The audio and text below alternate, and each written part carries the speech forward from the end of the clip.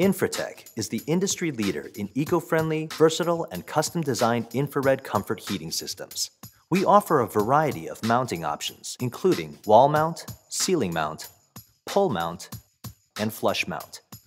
Because of its clean and seamless look, our flush mount installation option is a favorite among homeowners, interior designers, architects, and engineers.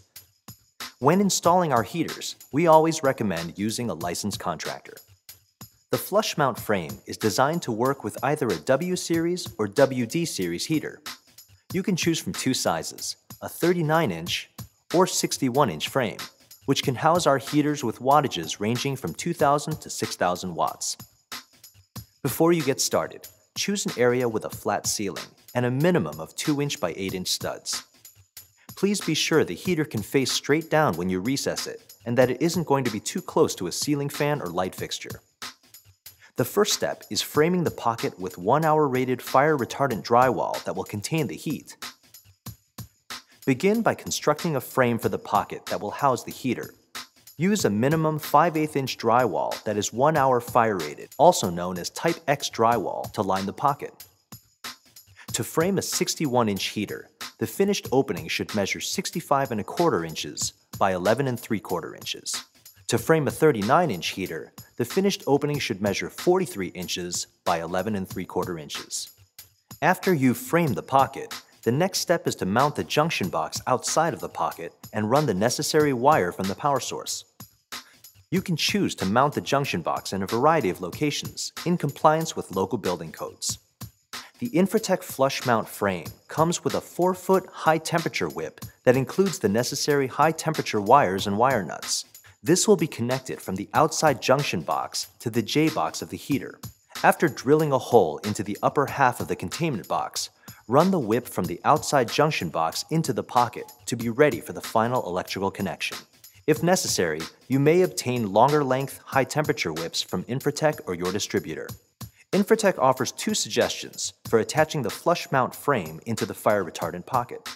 One method is to drill through the internal flanges and secure it to the inside of the pocket with wood screws that are a minimum of 2.5 inches.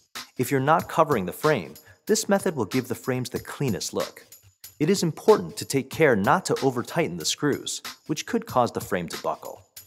The second suggested method is to use wood screws to drill through the 4-inch faceplate and attach to the substructure.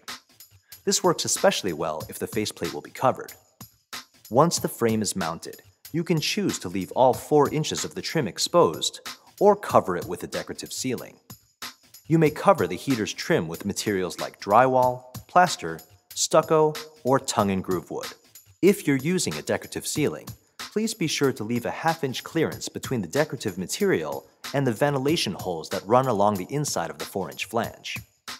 Before the heater is installed, adjust the tabs to set the heater height appropriately. Each adjustable tab is an L bracket, connected with a screw and wing nut. The heater rests on these adjustable tabs. You will have to lower each one and tighten it with the respective wing nut so that the heater is flush with the finished ceiling. Make your final electrical connection by attaching the whip coming from the outside junction box to the heater's J-box using the supplied high-temperature wire nuts. Simply lift the heater into place and make any minor adjustments. The installation is now complete. You are ready to enjoy the comfort of your patio year-round. If you have questions or need additional technical support, please visit our website or contact us.